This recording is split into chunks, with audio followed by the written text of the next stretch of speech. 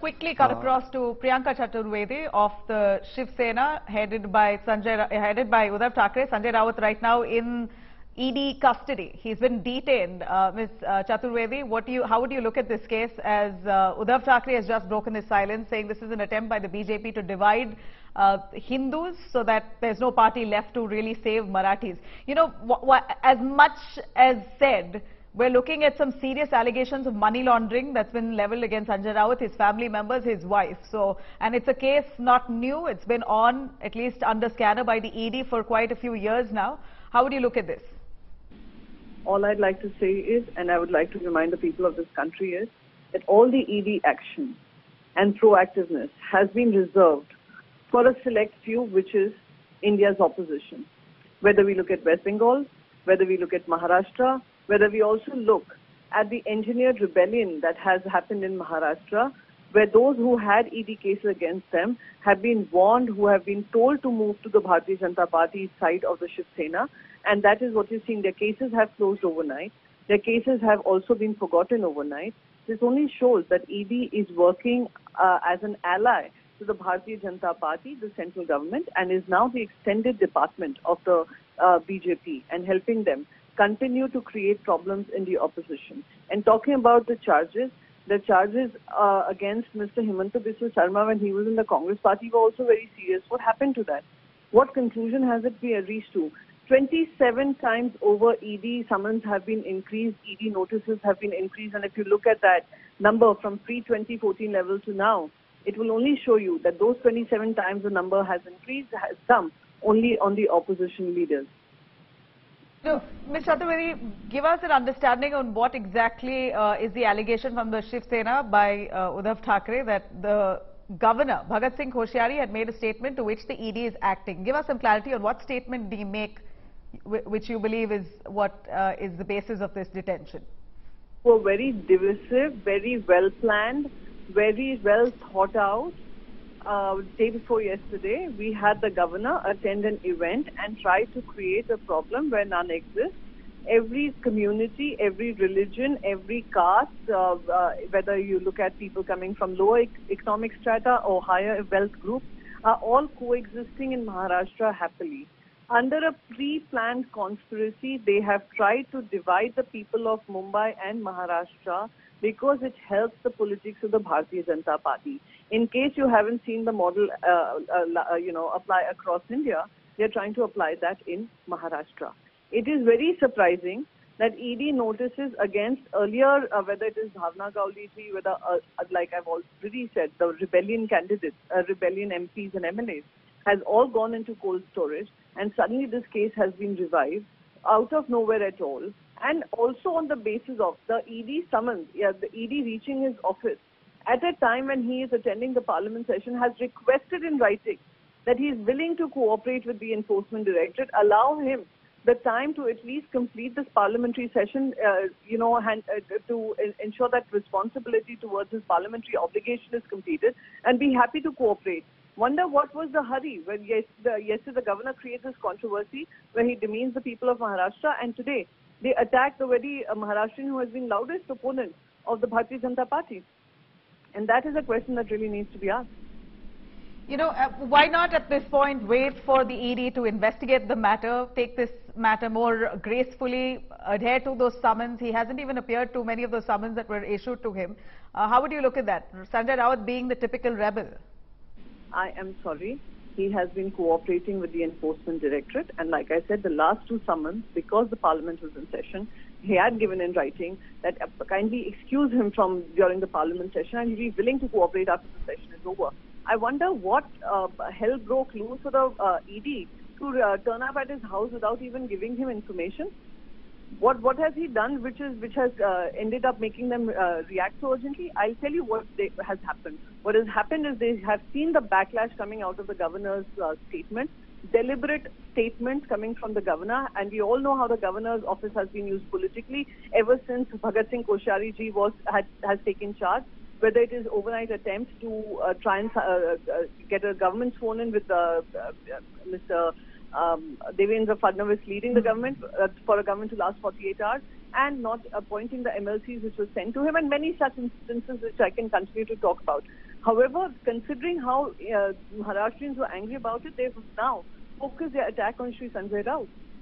I would want to know what uh, hell broke loose or how urgent did it overnight become for them to uh, reach his house rather than cooperating with him as well and saying that we, we would ensure that he attends to his par- parliamentary obligations as well as attend the ED?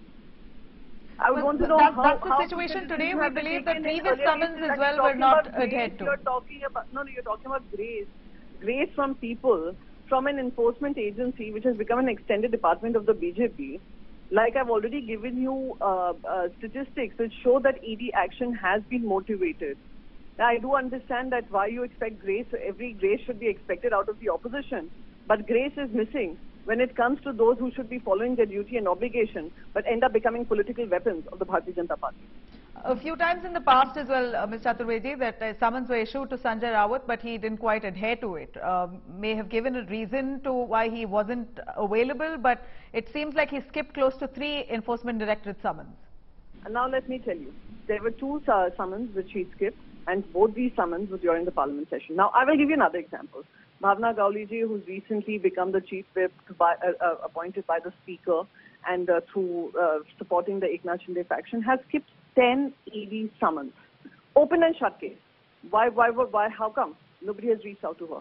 Now, simple question. I only give these examples to make you realize that these actions are based upon political reactions and political expectations of those people who are totally now controlling the enforcement directorate. It is a shame, and they will go down in history as bureaucrats, as officers who danced to the tunes of the Bharatiya Janata Party at a time when they had to stand tall and ensure that the institutions are not compromised in this country. You know, Ms. Uh, Priyanka, here we're looking at visuals coming in live from Sanjay Raut's residence. We see the uh, cadre, Shiv Sena cadre, me- women particularly, who are sitting in dharana. They're, they've blocked off the gates. Their uh, will is to not allow the enforcement directorate to take Sanjay Raut along with them.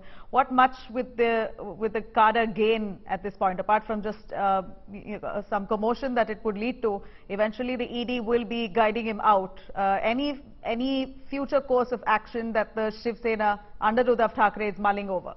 The, the cadre will expose what ED stands for and how BJP has a huge problem with Marathi Manos. And a Marathi Manos who was vocally speaking against the Bharatiya Janata Party and exposing Bharatiya Janata Party for what it is will at least people would get to know that this is uh, a vindictive action being taken by enforcement directorate because they do know that every single Maharashtrian is angry at the outburst of the governor of Maharashtra. And this is not the first time he has said it, whether it was about Savitribai Phuleji, whether it was about Mahatma Jyoti, uh, Jyotiba Phuleji, whether it was about Chhatrapati Shivaji Maharaj. He has created controversies uh, again, and uh, every single Maharashtrian is angry about it. And this action is only, uh, I would say, a, a step further to try and insult and humiliate the people of Maharashtra. Hmm.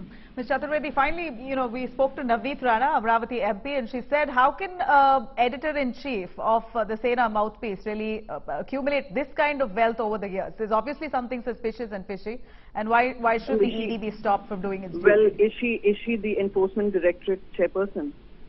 Is she the director ED? That I should be responding to her. Everybody knows that she is an opponent to Shiv Sena, and I would not be wanting to even respond to the charges. If it was the enforcement directorate or the director telling me this, I would perhaps respond it, but not to someone who has No, a motivated. if this is a perception, Ms. Chaturvedi, a perception that the man has grown, uh, No, that's a perception. grown wealth That's over the years.